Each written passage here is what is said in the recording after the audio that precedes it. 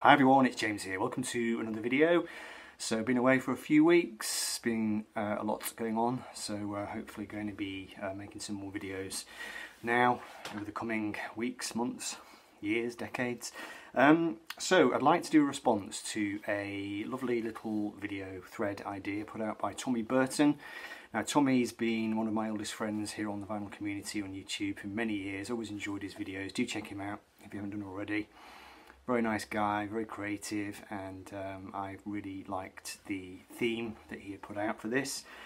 So he wants us to show five albums, weak albums from the discographies of major artists. So I thought this was an interesting one. A few years ago now I did a video called Mid-Table Albums and in that video I focused on records which were neither revered as classics nor slagged off as turkeys. They were kind of, you know, in the middle. So, um, and in that video, I mainly kind of championed those records as being ones that were, you know, worth checking out. So with this thread, I thought, okay, let's try, let's do, let's try and go to the bottom of the heap for these artists and try and try and pick out records which are definitely viewed as being, if not the weakest, but among, you know, the weaker records, and see if I can make a case for any of them. So I've got five to show and um, I've listened to all five of them in the last two or three days and I like all of them.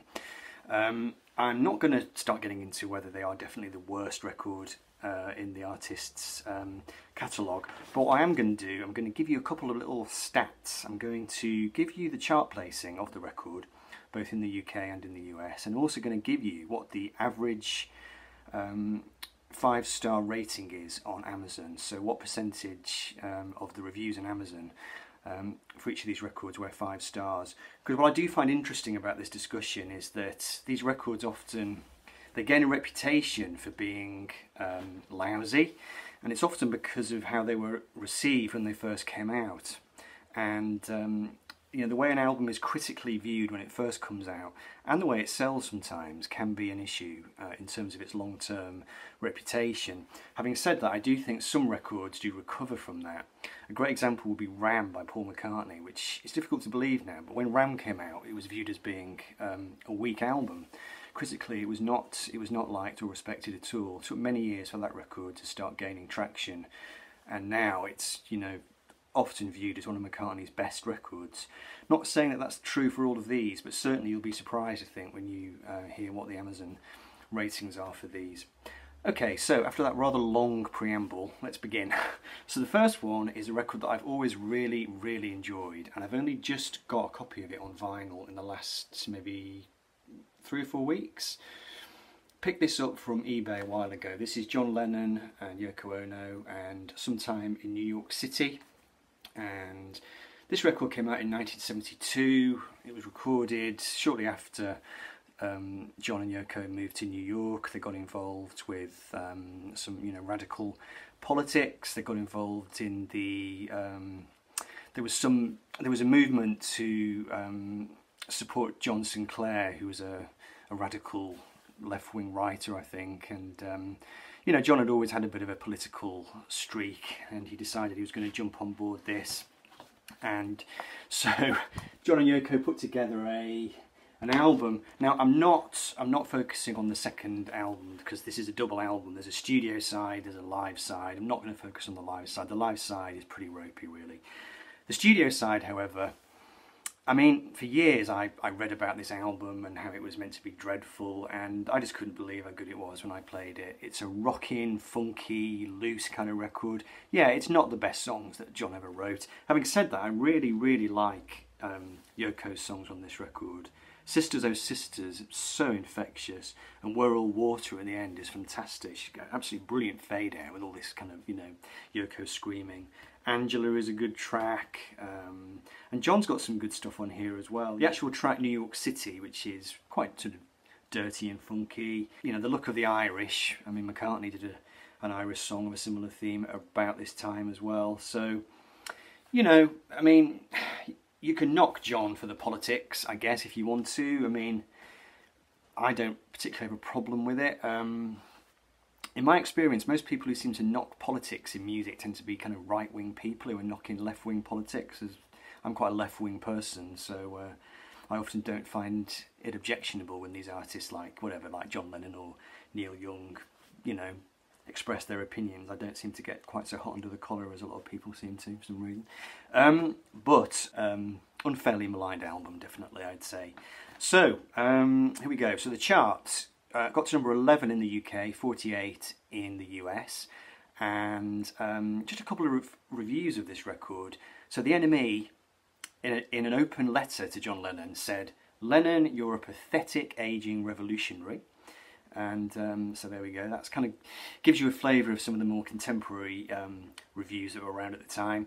In more recent times Uncut magazine uh, said uh, that the album was a contender for the worst LP by a major political figure I think that's meant to be major musical figure or it could be a political figure I'm not too sure uh, uh oh, and um, I missed this one back in the day. Rolling Stone called it shallow and derivative, so that kind of gives you some sense of how it was received at the time.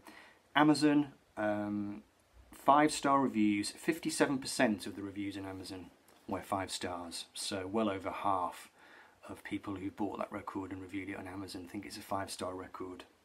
So there we go. Interesting. right, okay, next one, next one.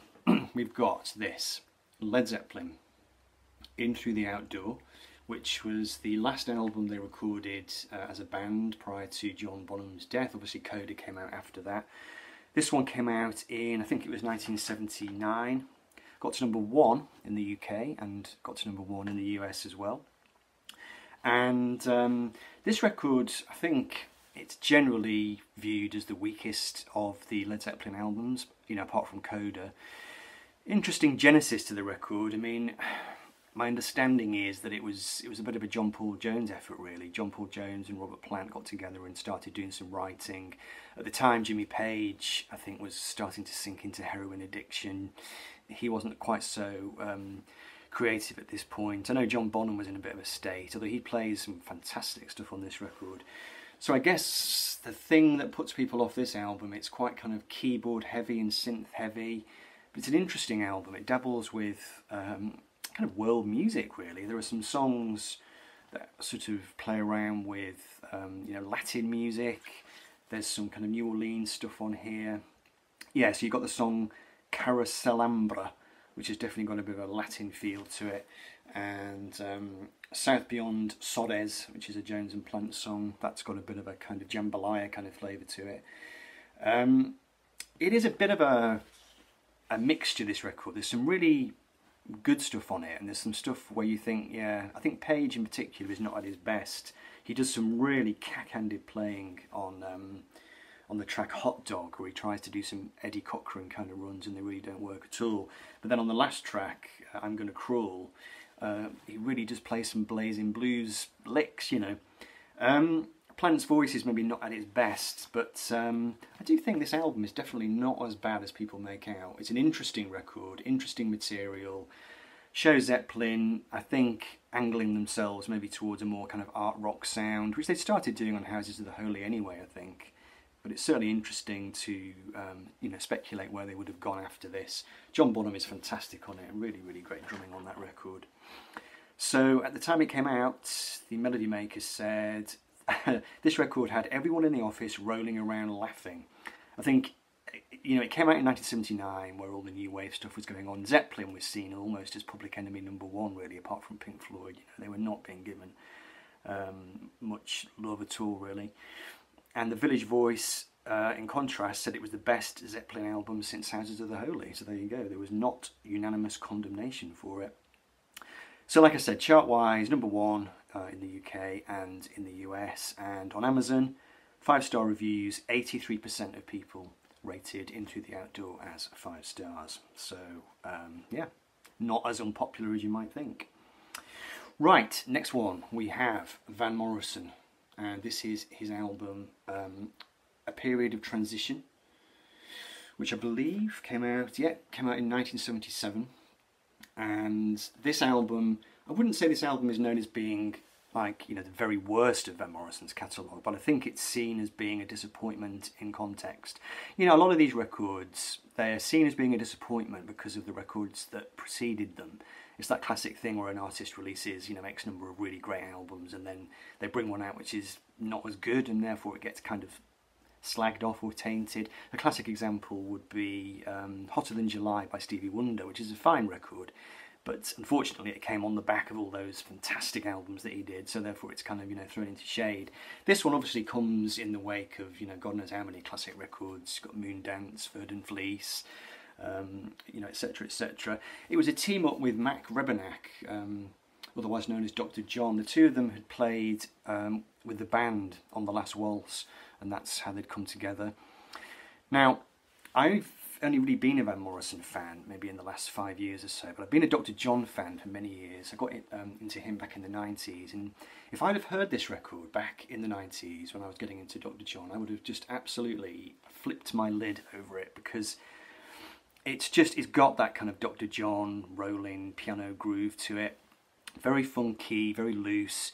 Definitely not Van Morrison in his kind of ethereal mode, but if you want to pour yourself a glass of wine, you know, dance around the room to it. I can't sit still and listen to this record. It's very upbeat. It's, you know, like I said, very funky. But it does have some great sort of Van moments on it as well. You've got the Eternal Kansas City at the end of side one, which starts with this kind of church choir thing, and it's really kind of churchy and spiritual sounding. Side two, you've got Joyous Sound and Flamingos Fly, both of which are beautiful tracks, and then Cold Wind in August. Actually, Heavy Connection as well is a bit of a Van classic, I think.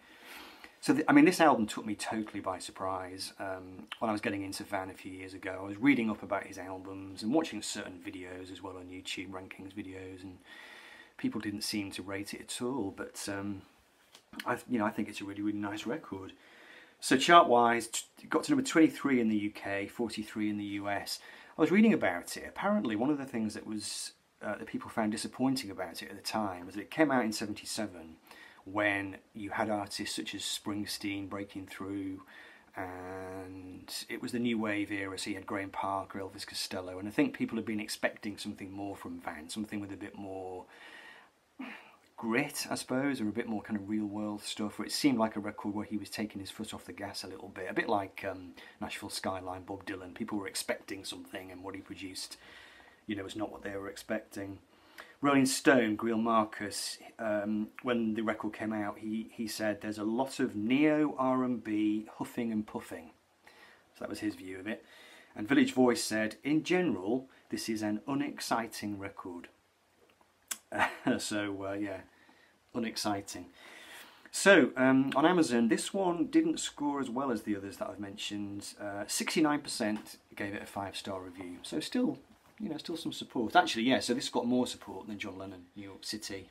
So, um, yeah, if you don't know this record, if you've heard that it's perhaps not one of Van's best ones, I'm not going to say if it is or not, but I would say definitely check it out. Particularly if you're a fan of kind of R&B and funk and kind of bluesy stuff, you know. Um, it's good fun. Definitely an enjoyable record. Right, so the next one. We move now to 1978 and we're going to look at Yes and Tormato, featuring the famous Hipgnosis cover, which the band were not too pleased about, where there was, um, I think, Hipgnosis where maybe casting around for inspiration, and they came up with the idea of just holding a tomato at the painting and uh, taking a photo of it. I think it works quite well. I think it's quite funny. Um, so this album, this album, right. Rick Wakeman was back in the band. They'd done um, Relayer with uh, Patrick Moraz, and then they got back together with Rick Wakeman to do uh, Going for the One, and then I think this album came after that. Now, again, it came out in 1978, a lot of new wave stuff around at the time.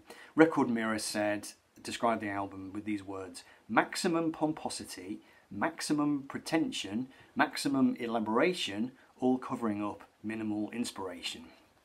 So that gives you a flavour. However, the LA Times said that this would eventually emerge as one of Yes's most strongest and most important albums, so there you go. Um, what do I think of this record? Uh, well, I think it's it's enjoyable. It's definitely not Yes at their best. Um, Rick Wakeman, I think, is particularly irritating on this record. He plays too much, he plays in all the gaps, he's constantly whittling away, playing his arpeggios, and what he contributes I don't think is necessarily always what the song demands. But um, song-wise, it's actually quite a pared-down album. Most of the songs are quite short. Most of them are quite tuneful. There's a lot going on, but it's definitely not kind of indigestible. Um, I think because the songs are quite short. I mean, it features the song um, that was a single actually. In fact, I think it was a top 40 single, um, which is Don't Kill the Whale, which I think is one of Yes's finest moments really. It's got some great singing on it, some great arranging.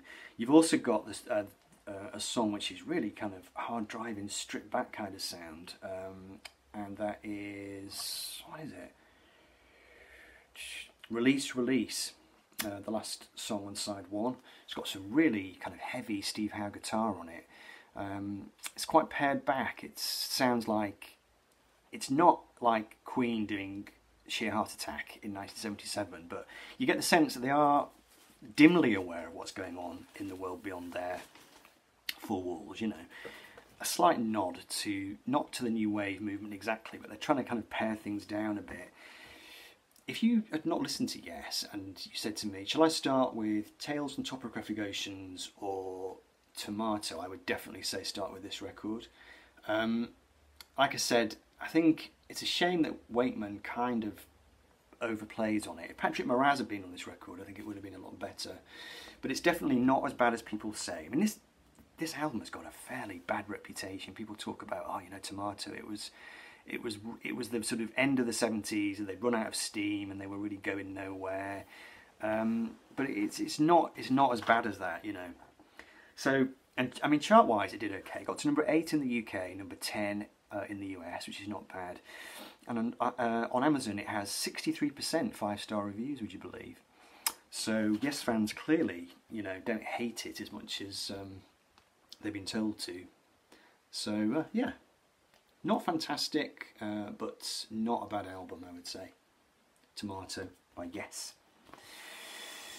Right, so, uh, okay, so this next one, or this last one, this is the one I think maybe, apart from the John Lennon one, out of all these records, this one maybe has got the worst reputation. I could be wrong. This is David Bowie and Tonight, which came out in, I think, 84.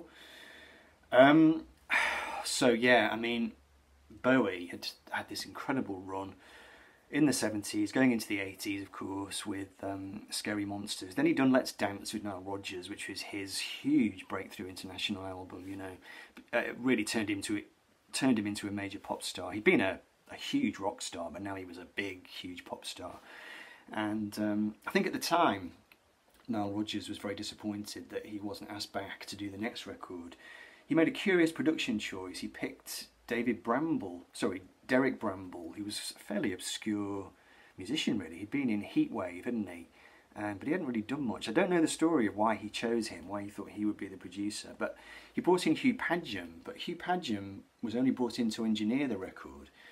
Um, but at the time, he'd already become a really big producer. He'd done The Police, and uh, he was already a, hotshot producer. But he agreed to just, you know, be the engineer for Bowie because he was in awe of Bowie. Um, but I don't think I don't think Derek Bramble really had the production chops really to handle Bowie, and I think Bowie went into the record maybe with a not huge amount of enthusiasm. It's a bit of a mishmash. There were some songs he covered some songs from a couple of different Iggy Pop albums. There's a couple of songs I think from Lust for Life, isn't there? And uh, and he also wrote a couple with um, with Iggy in the studio. He wrote Blue Jean and Dancing with the Big Boys with Iggy in the studio, and they're kind of okay. They're not bad. Um, and there's a couple of covers which are not wonderful. God only knows a cover of that. I don't think is as bad as people make out. I don't mind it really. I mean, it's one of those songs where you think it's such a great song and such a classic. You better have something really good to you know to say about it or to do with it. I'm not convinced he does, but it's not a dreadful version. And then there's an old R&B song here as well. I keep forgetting on side two, which again is kind of all right. The two kind of gems on this record for me are Loving the Alien, which is the first song, which I really could have been on Scary Monsters. You know, it's got a kind of art rock thing going on. It's got Carlos Alomar on guitar. Really kind of uh, strange, inventive kind of song. I think it's just really good. And then um, the cover version of Don't Look Down, which was from one of the Iggy Pop albums, it wasn't from Lust for Life, it was from a different one. That is fantastic. It's a kind of reggae version and it's done really well. I mean, it's cod reggae, but it's done well. It's um, It's got a beautiful production, really, really great.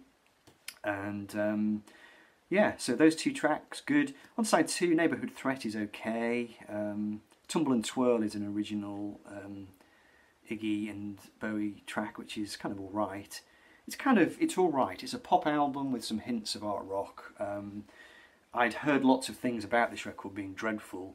My friend here on DVC, Sean Whelan, he sent me a copy of this or this copy of it last year, I think, and um, I listened to it and I thought, yeah, this is actually this is okay. I can hear how it would have been disappointing at the time, um, you know, coming off the back of that fantastic run of albums, but um, it's not terrible. Bowie himself, uh, I think, realised it wasn't a great record. He was interviewed shortly after its release and he was already kind of apologising for it. It's interesting because the same thing happened with Paul McCartney and um, Press to Play, which Tommy showed in his video. He was interviewed shortly after the release of that record and he was also kind of already apologising for it, you know, having realised it wasn't maybe that great. But what's funny is that Hugh Padgham was also the producer of that record too. So in the space of maybe two years, three years, Hugh Padgham basically worked, uh, helped to make one of the least regarded David Bowie albums, and then went on to record one of the least regarded Paul McCartney albums as well. So he wasn't having a particularly wonderful purple patch there, but um, yeah, I don't think it's it's that bad really. I think it's it's okay and good in places. Now chart-wise, UK number one was a number one album for Bowie, and got to number 11 in the US. Um, Rolling Stone said, This album is throwaway and David Bowie knows it. But the NME uh, described it as having a dizzying variety of mood and techniques, so it wasn't even universally slagged off at the time of its release. Amazon, 77% um, of people um, gave it five stars. So there you go, tonight. You know, 77% of people think it's a five star record. So it is a curious topic, isn't it? These records which they're kind of, they are viewed as being weak, but then when you actually get into some of the chart placings and how they're regarded today, maybe the story is not quite as straightforward and maybe some of them have been reappraised and maybe some of them were more successful at the time than we than we thought. Anyway, so what Tommy said in his video was that he wanted us to show albums that were perceived as being the weakest and he, he specifically said we're not talking about like definite dreadful dreadful albums. So I try to steer away from dreadful albums. I don't know if I've got any truly dreadful albums in my collection. I've probably got a few, but that might be the next thread to come up. I don't know. It's a bit depressing talking about truly dreadful albums, isn't it? It's quite enjoyable talking about these kind of underdog albums, which are seen as being weak. I've always I've always gravitated toward those records, you know. I mean, we've all heard the classics, haven't we, over and over again. So it's kind of it's good fun to pay homage to some of these lesser known ones. Right, goodness me, that was longer than I intended, but um, hope you enjoyed it, and uh, do please jump on Tommy's thread if you have any inclination. And uh, thanks for watching, everybody. Um, I picked up some new subscribers. This is on the back of the mammoth discussion video that I did with Andrew Dixon a few weeks back. Um, Andrew and I did a big thing on, on um, Wings and McCartney, and um, I was totally overwhelmed by the response to that video. It was fantastic. It was a, it was a kind of real labour of love style video and it did very well and I think I've picked up some more subs off the back of it. So if you're new to the channel thanks very much for joining me and if you're one of the old ones lovely to have you uh, back and um, I shall be back soon hopefully for more for more videos. So take care and uh, I'll see you all soon. Bye bye